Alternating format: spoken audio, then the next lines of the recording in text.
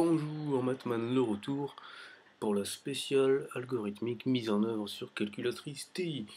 Donc aujourd'hui je vais vous présenter l'algorithme du sujet Bac S Amérique du Nord, mai 2013, sur calculatrice TI.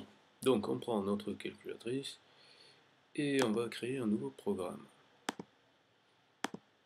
qu'on va appeler USA.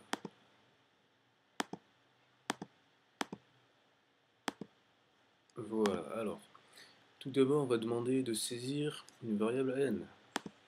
Donc, pour ce faire, on va utiliser l'instruction prompt.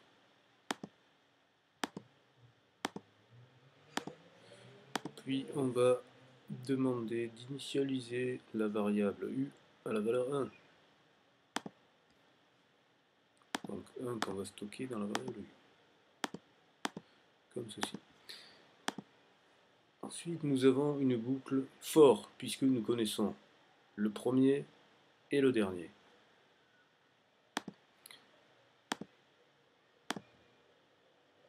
La variable de comptage sera la variable i.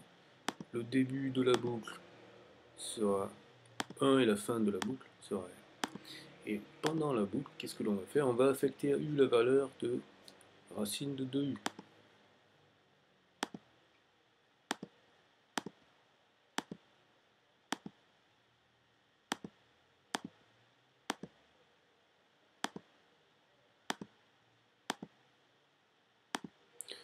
Comme ceci, puis on ferme la structure de boucle, puis on lui demande d'afficher le résultat.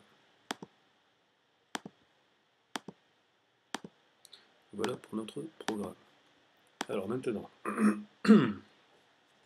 on va calculer pour n égale 3. Bon, eh bien c'est parti, lançons notre algorithme.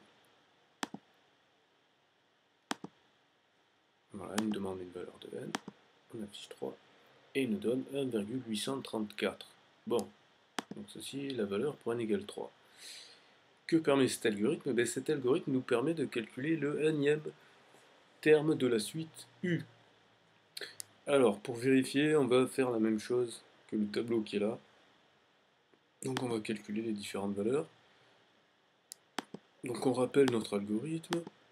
On l'exécute pour n égale 1.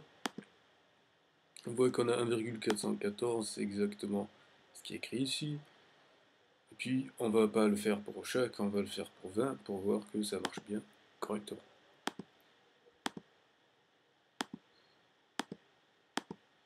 n égale 20, et qu'est-ce qu'on voit? On voit qu'on a bien les 4 9 après le 1. Vous savez maintenant comment implémenter cet algorithme sur votre calculatrice. Bon, alors maintenant, on nous propose un autre algorithme et on va le compléter. Cette fois, on veut que UN soit supérieur à 1,999 et on veut savoir quelle est la plus petite valeur. Donc, on va mettre une condition et donc c'est plus une boucle for, mais ça va être une boucle while. Donc ici, on va supprimer cette instruction et à la place, on va mettre une boucle while. While quoi? On veut que déterminer la plus petite valeur pour laquelle UN va franchir la valeur 1,999. Donc on va lui dire que tant qu'il est inférieur ou égal à 1,999, il va continuer le traitement.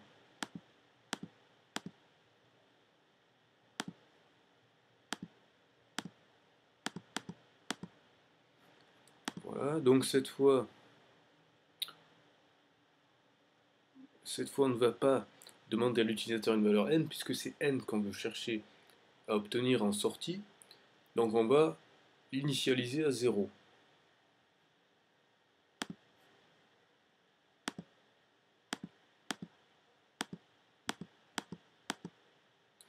Donc ici on modifie ce code là comme ceci.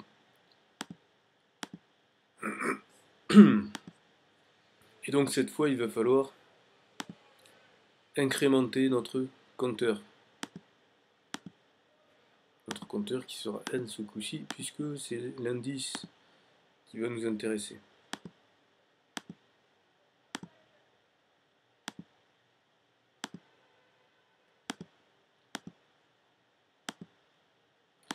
Et on va lui demander au final d'afficher non pas U, mais N.